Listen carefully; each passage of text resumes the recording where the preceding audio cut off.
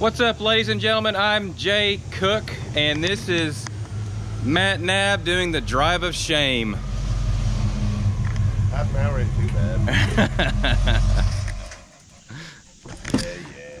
And today we're gonna get some stuff going. Perfect. That thing's limping like it's got a twisted ankle. so I guess uh, we're gonna pull the motor and transmission out of tetanus this morning. Yeah, it's probably gonna slip. Oh yeah. Super sketch. Oh, it is really sketchy. Perfect. Yep. Uh, it's, it's so hard. Matt's down here taking the linkages loose on the on this uh, car. Sorry, we were just laughing about something. Uh, I just got both headers loose on both sides, and as you can see, all the fronts taken loose, and we're almost ready to pull this thing out. I wish every new car was as easy as this to work on. Amen. This was a lot easier than that other one.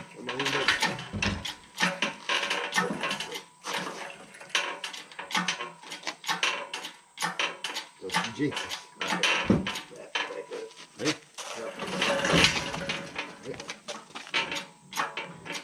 Well, we got two front tires that hold air on tetanus, and we pushed it right there. That thing never rolled so easy in its life.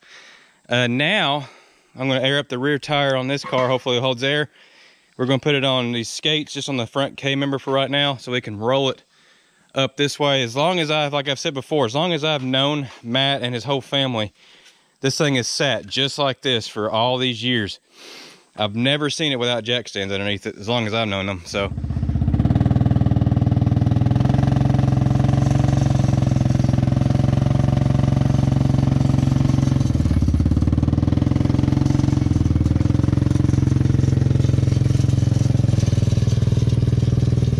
So Matt and I were clearing out this Ramcharger because we got somebody's wanting to buy this to get it out of here.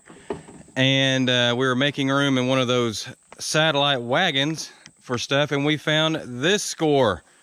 We got a brand new tail panel for the Charger, brand new fuel tank, a really nice transmission cooler and just some other little odds and ends, and a brand new alternator in a box. What a score that is, Matt. Yeah, man. Happy about it. Oh, me too.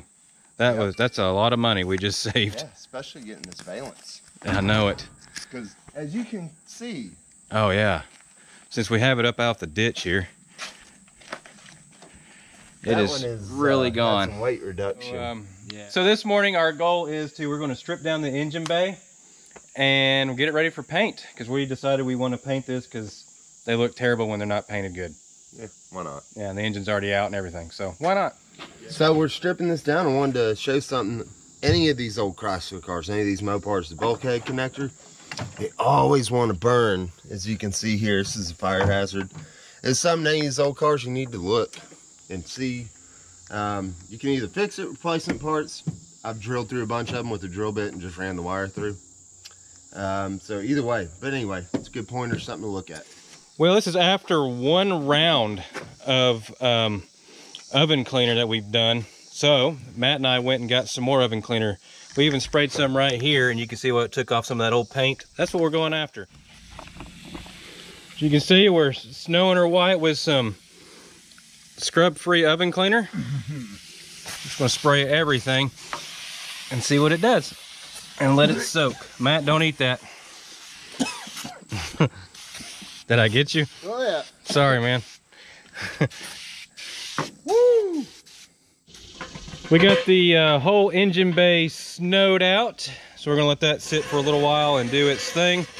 And while it's doing its thing, we're gonna raise the back end up, put jack stands underneath it, and remove the rear fuel tank. And we're gonna address of, we're gonna try to address what we need back here in the back structure-wise. So we're trying to get the fill neck out, and we didn't notice that someone had already put a makeshift floorboard in here. We did not notice that. As you can see, all the makeshift stuff right there, they're all cut and riveted all in there. So we're gonna get this out so we can get this out, so we can get the tank out, and then we can assess how much stuff we're gonna need to structure the back of this car to make it safe. Well, the fuel tank's out. We finally got that out, and you can see how really rusty it is back here. Uh, we're definitely going to need all the stuff basically back here. Trunk pan, new brace, front, those two pieces, that brace, and then the whole trunk pan, and then all the rear valence stuff. We got a lot of stuff to get, but eh, we were expecting it anyway. And we found a set of quarter panels that we might be able to use for this thing, the lower quarters. Uh, pop some lower quarters on it somewhere right in here and get rid of this. Wow, a lot of rust. We got the car up on jack stands. We got the whole front of the engine, everything pretty much degreased. And that's really about it. It took most of the day just doing that. That kicked our butts, but we were spraying and had to let it sit. And we got the fuel tank out of it and fought that. And we got it all where, where it is for now. We got a new plan for this car. Actually, we're going to try to take this over to Matt's shop here soon. Yeah. And that'll make it easier for us to work on it because we're getting to the point now where we got to do structure stuff in the back. We got engine stuff to do up front, and we just don't want to do it out here. It kind of sucks. I'll talk to my boss and we'll we'll get back with you on that. well, it's early morning. Been several weeks later. Weather has not been in our favor. But today we are back in on the 68 Charger Project Freebird. Um, today we're going to be working on getting the subframe out from underneath it. We got Matt has this handy dandy dolly that's made for these cars. We borrowed from a buddy of ours. We're going to put that underneath it to make the car rollable. And we're going to vacuum out the interior. I brought my shop vac just so we can see what all floor pan stuff we got to repair. Because obviously right there and obviously this flintstone hole right here. Uh, so that's what we got to get going on today. Is there anything else, Matt? Uh, we're gonna go look at tetanus and see how much of the floors we can cut out of it. Oh yeah, that is that is our donor car. A lot of you have been asking what we're gonna do with that car. That's our donor car for this car. It still it keeps on giving. I think you've used a bunch of parts of that off your brother's. The car is like the giving tree. I don't know if y'all remember that book. Shel Silverstein, I think, was the author. it is a giving a tree. Yeah, it's the Charger giving tree. So that's what's in store for the rest of this video.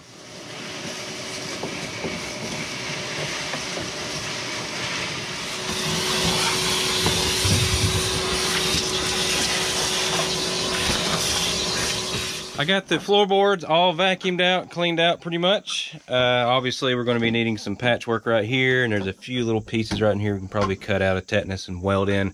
And obviously the floor over there, and then a little bit back there and I only had to unclog the vacuum about eight times.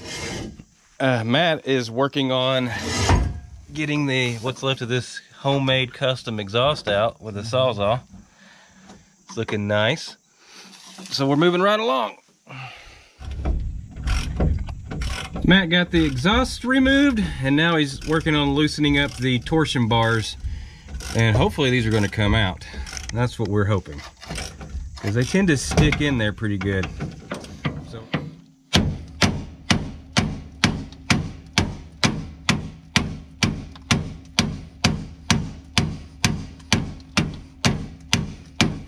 Finally got both torsion bars out. Had a beat and bang on that while Matt held underneath there, as you can see. Not fun, but they're finally out. Yeah. Oh. Okay, it moved a lot.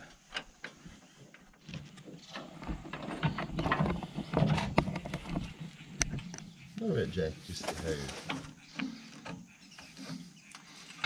Okay.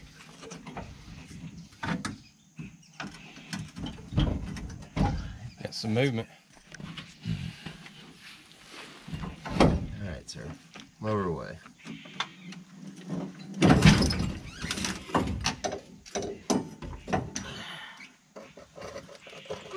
That's it.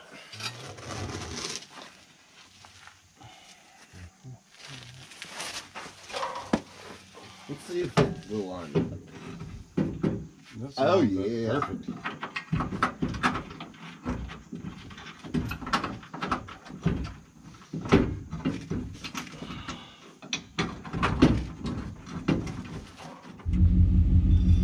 All right, we're about to be moving this Ramcharger down the driveway and park it down there where the other stuff is.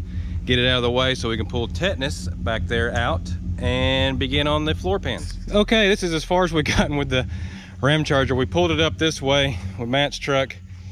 And we was hoping it would come off this little hill and turn. but you, I don't know if you guys can see it, but it kind of, it goes uphill. So as far as we got, suck part is it goes through the woods here.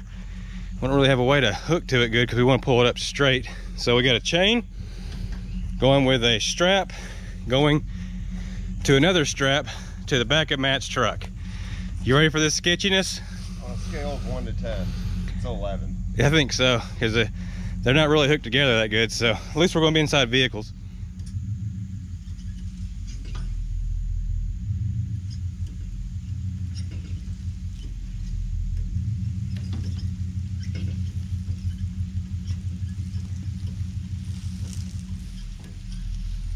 That's good. Okay, as you can see, we pulled the car back and we were checking floor pans because in all fairness, we never really vacuumed this car out. Matt was pointing that out. We just we just raked the stuff out best we could. And obviously the floor pans are no good. I mean, back here, we found this hole. We, we just kind of tapping around. Found a hole over there. Obviously over here by the throttle pedal, you can see sunlight. And right here, we, we like this one. Um, I was kind of beating around with this old torque wrench thing we found laying around, just kind of tapping around. And I tapped through this. Isn't that cool? It was right there. So these floor pans are, uh, we should, should have suspected, are garbage. So I think we're just going to order new ones. Well, I guess this concludes another video. Uh, we kind of got a new game plan of everything. Just means more money. Oh well, we already kind of expected that. Whatever. What do you think, Matt? It's going to be expensive anyway we do it, so Yep, that is true. It's gonna be expensive anyway we look at it, but we got um, we're gonna do all new, like I said, trunk pan or trunk pan, floor pans, all that stuff is gonna be new and replaced, make the car more solid anyway. And I guess that's it for this video. Maybe next time when you see it, it'll be at his shop, and it'll be a whole lot easier for us to work on. He has a lift, everything, all the tools that we'll ever need instead of having to get out here and look for stuff forever. So it's getting a little old. It's getting a little old, and we don't have to fight weather. That's another thing we're not going to have to worry about anymore. So. Anyway, with that being said, hope you guys enjoyed this video. Hit that like, subscribe button if you haven't already. We'll see y'all next time. Be good to one another. Peace out.